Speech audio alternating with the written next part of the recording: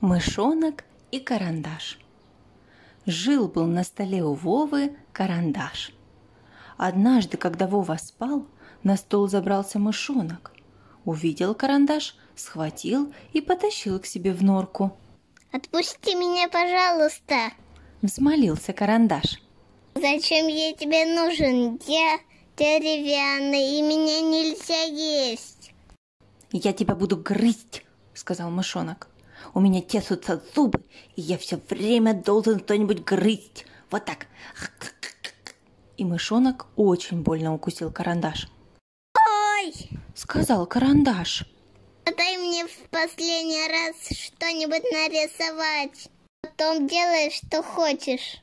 Так и быть, согласился мышонок. Рисуй, но потом я все равно тебя изгрызу на мелкие кусочки. Вздохнул тяжело карандаш и нарисовал кружок. «О, это сыр!» – спросил мышонок. Может быть и сыр, сказал карандаш и нарисовал еще три маленьких кружочка.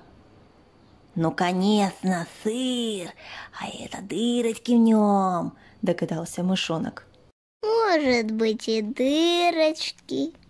Согласился карандаш и нарисовал еще один большой кружок.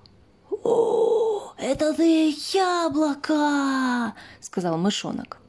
Может быть и яблоко, сказал карандаш и нарисовал несколько вот таких длинных кружочков. «Ой, я знаю, это сардельки!» Закричал, облизываясь мышонок. «Ну, контяй ты скорее, у меня ужасно тесутся зубы!»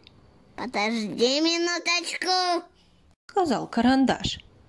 И когда он начал рисовать вот эти уголки, мышонок закричал. Это походы на ко... О, не рисуй, не рисуй больше! А карандаш уже нарисовал большие усы. Да это ты настоящая коска! Пискнул испуганный мышонок. Спасите! И бросился к себе в норку. С той поры мышонок оттуда носу не показывал. А карандаш у Вовы до сих пор живет. Только он стал вот какой маленький – и ты своим карандашом попробуй нарисовать такую кошку на страх мышатам.